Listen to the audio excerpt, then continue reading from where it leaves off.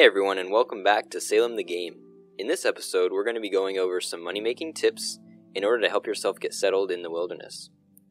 Now, the first thing I want to let you know is that some of my methods to make money may be a little bit different than some others, but for the most part, this will be a very fast and easy way to make some money in order to help yourself get set up later on. You're going to want to buy a claim stone, which costs about 150 silver, and this can be a little bit hard for new players that don't know how to make money. But I'm going to teach you an easy way to make money and get on to making your own claim. So first off, what you're going to want to do is open up your studying tab.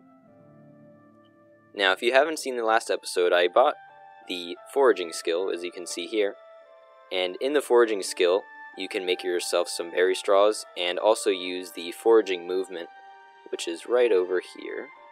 And when I turn that on, it'll help me find more items in a single area. It'll basically spawn more items whenever I'm walking around.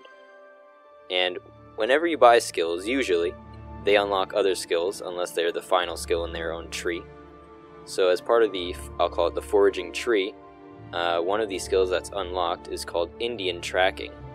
Now the good thing about Indian Tracking is that it lets you find items that spawn called Indian Feathers. And what you can do with these Indian Feathers is if you have Indian arrowheads, you can actually match them up in a crafting recipe and create uh, savage charms. And you can sell these savage charms for 30 silver each. And if you can do the math, 30 times 5, as in 5 savage charms, will be enough for your claim stone to cover your area in order to protect yourself from people that are walking by. Now, we haven't even found an area yet, so we don't have to worry about the money right this second. But on the way to finding the area we're going to want to live, we will be able to find these savage, uh, these Indian feathers to make the savage charms. And when I open up my inventory, you can see that I've already found two Indian feathers. You might be wondering how I found these without actually having the Indian tracking skill. Another thing I want to mention is that you can find any item that spawns in these uh, logs over here without having any skills because they are pretty much spawned by the chunks and whenever you walk by them they have a chance to spawn X amount of items, and there's no limit depending on what you have. It's all based on the server. So if I open up this uh, log, you'll see that there's a earthworm and two smooth stones and a rotten log. Now, I would have no skills required to find these items, and I could even find, and I'll show you it'll look like this, I can even find an Indian feather inside the log without having the Indian tracking skill. The Indian tracking skill just allows me to find the items on the ground as if I was picking up a flower, or even a uh, autumn grass as you can see right over here. So basically it's just a higher spawn rate allowed for you and it allows you to see the items on the ground. And this will pretty much speed up the process of making some money. And I found these two uh, these two Indian feathers in about 10 to 15 minutes. So if you do the math, it's about another 10 or 15 minutes until I'd find another two, and in about half an hour I could probably have enough to pay for my own claimstone. So it's really not too much work, and I haven't even gotten the skill. So what I'm going to do now is show you how to get the skill really easily. So all you need is two smooth stones and either a sunny sunflower or a tumbleweed. And you can use some other items as well, and I'll show you how to do that later. But for now, you can copy me if you want. I'm going to study this one. Hmm and this one. Hmm. And as you can see, oh, sorry, actually, I need one more. Uh, yeah, I'll use one more. Sorry, you need actually three Hmm. smooth stones. And the last skill I'm going to need is Faith and Wisdom, the last proficiency. So I can either study this Sunny Sunflower or the Tumbleweed. I prefer to use the Sunny Sunflower because I find them easier. Uh, they spawn a lot more frequently, I think, in the desired biome, which will be the Greenland biome, which you can see as I circle on the map. Uh, there's another biome as well that doesn't show up right now because I'm not near it, but it's called the uh, it's I think it's called the woodland biome. It's it looks like a darker darker woods, not as dark as the coniferous biome, but a little bit more of a green dark green biome. So I'm going to use that, and that'll be enough to Hmm. get my faith and wisdom up a little bit in order to buy the Indian tracking skill. Yep. So now I have Indian tracking, and if I walk around, I'm sure within maybe 10 minutes I'd at least find one spawned on the ground as if I was looking for a flower or an autumn grass, as I said before. So, what I'm going to do is I'm going to actually walk around uh, towards the west a little bit and just pretty much look for some items. And I'm going to skip the video a little bit But before I go, I just wanted to let you know that the point of this is to walk to the west because the, you start on the east side of the of the map. You want to walk more towards the west where less players live in order to be pretty much farther from the other people that might be either raiding or walking past your base you might not want them to find. Um, so the point of this is to walk west and along the way to your possible settlement location you'll be able to find uh, some Indian some Indian feathers in order to make some money. So like I said, I'm going to pause the video now, and I'll let you know uh, how many I find in about 10 minutes. And from there, hopefully I might even have enough to get my own claimstone.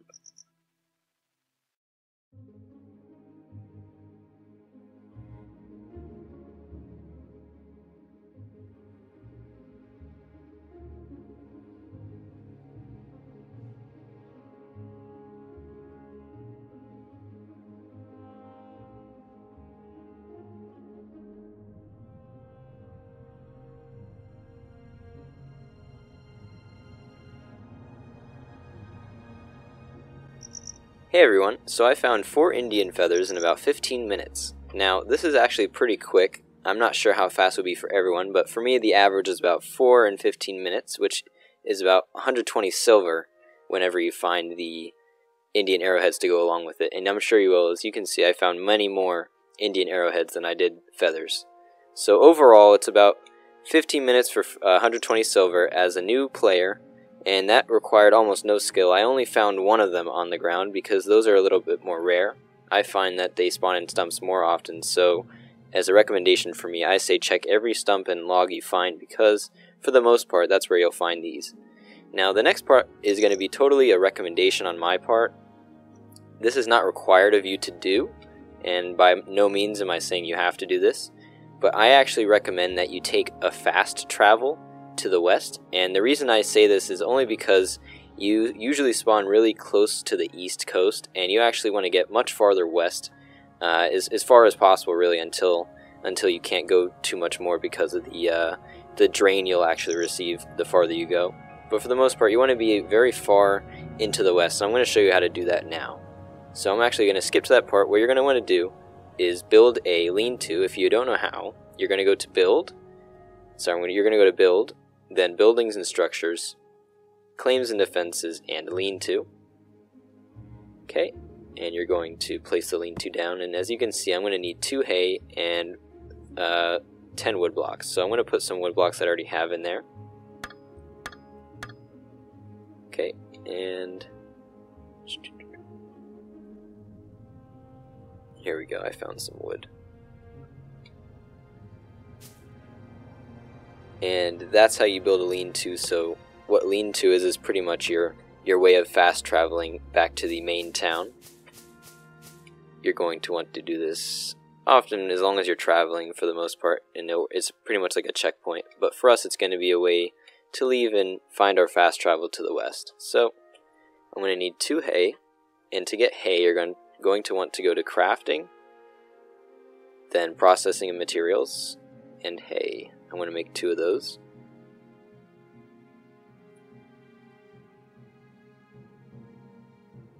Cool.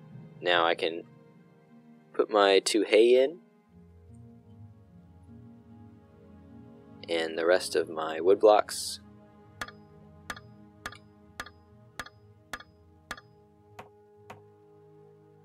And I will make that my homestead. Now I can easily port to Providence. If you didn't notice already, I had my home and my port tab both in F1 and F2 only because I find it easiest to get to without having to go to the travel menu. So I usually drag these over there. So I'm going to port to Providence. So here we are in the big city and I just got here so first of all I'm going to show you how to make your money from the items you just collected. Now as you can see none of my items are ready to sell I'm going to need to make the Savage Charms in order to sell them for 30 silver each. So I'm going to go to my Crafting tab, my Inspirationals tab, and then Savage Charm. And as you can see, it needs one arrowhead and one feather. So I'm going to craft all in order to easily craft all these.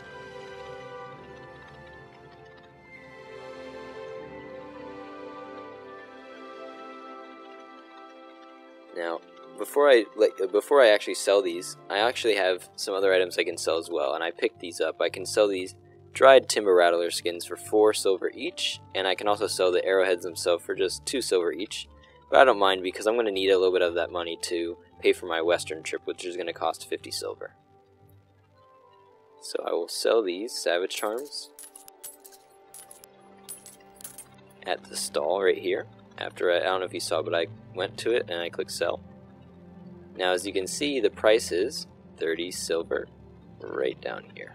30 silver per savage charm. And up here, you can see it's only 2 silver for the arrowheads themselves. So it's a little bit cheaper, but as I said, I'm going to need a total of uh, 200 silver, and I have 185 right now. So I'm going to sell a few of these to get enough money to pay for the uh, western trip. And now I have 201, perfect. So now what you're going to want to do is go to the northwest and you're going to go past the, the berry bushes as you can see here there's a bunch of berry bushes over here.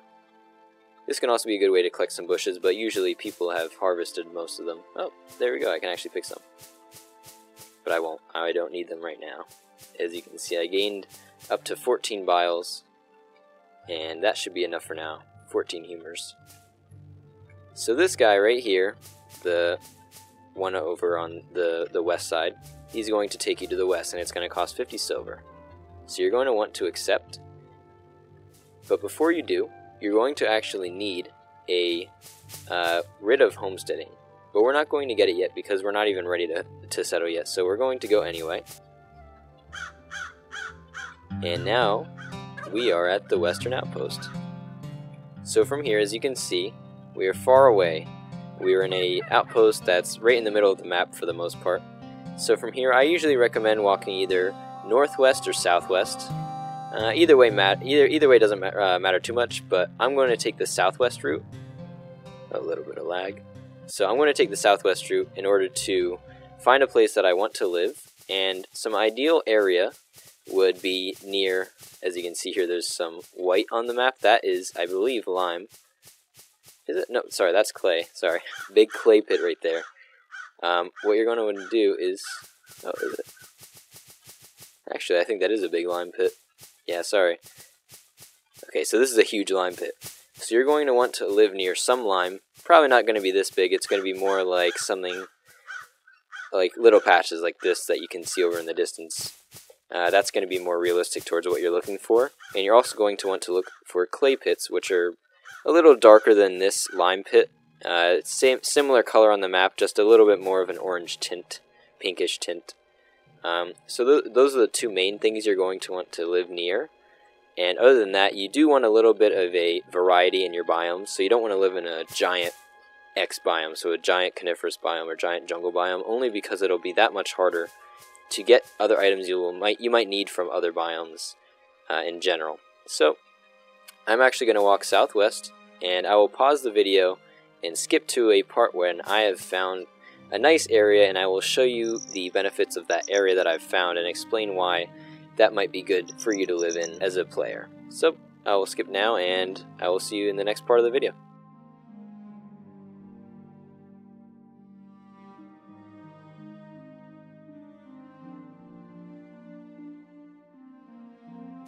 Hey again everyone. So I've just traveled about an hour or two and that was running, so that might be a little bit longer for you. It could be up to two to three hours to find an area like this, relatively unsettled.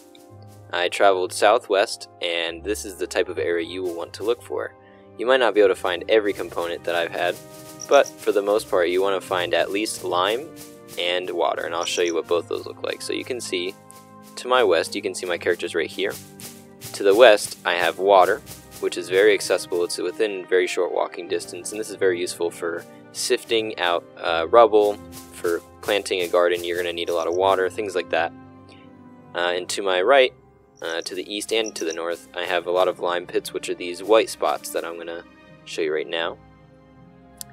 And lastly, to the top right, you can find uh, a clay pit. And this is a little bit farther. I've chosen to settle closer to the lime because I find that lime is uh, more valuable and you don't need clay as much all the time and for the most part, you can even keep your clay production at the clay site, so whenever you need clay, you can walk over there. But I prefer to have the lime close by and the water for sure, so I've chosen this area. Now, what you're going to want to do is you're going to want to claim the area that you have found.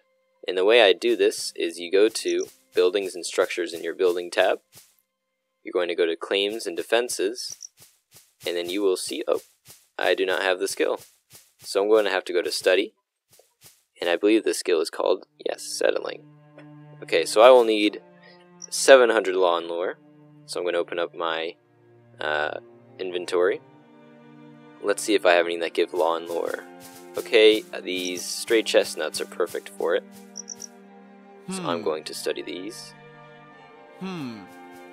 Hmm. Perfect. Alright, now I can get settling pretty hmm. easily. Hmm. As you can see, a hmm. lot of this game is pretty much just studying items uh, and leveling up your character in order to do most of the things you're going to want to do. And it's it's just something you're going to have to get used to as you play the game. Hmm. So let's see here. I can use uh, Beetle for Perennial Philosophy. Perennial Philosophy is actually one of the hardest skills to find uh, inspirationals for. Not sure why exactly. Hmm. Okay, so I have Settling now. And you will see if I open up my Building tab again, in my Buildings and Structures, Claims and Defenses, that I have a Stake Claim. Okay, and I've already gone to Providence to the stall that I sold my uh, Savage Charms to, and I bought myself writ of Homesteading, which is right here. And that's going to cost 150 silver. I also bought myself a purse to put my silver so that if I get knocked out by a bear, snake, drowning even, I won't lose anything on my body, so of course the purse on my body is also not lost, including the money inside it. So it's a very easy way to keep your money if you ever are afraid of getting knocked out and losing your items. That's a surefire way to keep your stuff, unless it gets stolen from another player. So I'm going to mine 5 stone, because that's the requirement for one of these uh, stake claims. And while I do that, I will butcher this. Oh, I can't even butcher it. Oh, well. Three more stones, and I'll be able to build my, uh, my stake claim. And I will do that right, right here, right next to my, uh, right next to my lean-to.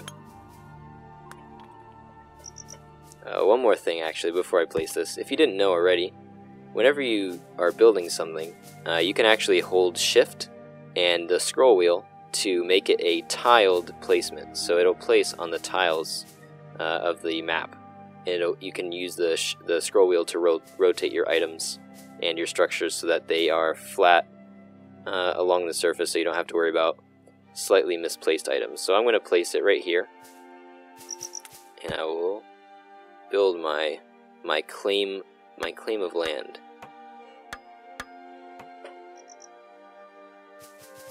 Now, if you can, if you can see, um, for the most part, the area is very small, but if I right-click the area, I can actually extend all the way to the north, south, east, and west, and make my area bigger. As you can see, it's going to cost 107 to do something like this, so I'm not going to do it yet, because I have nothing really to protect.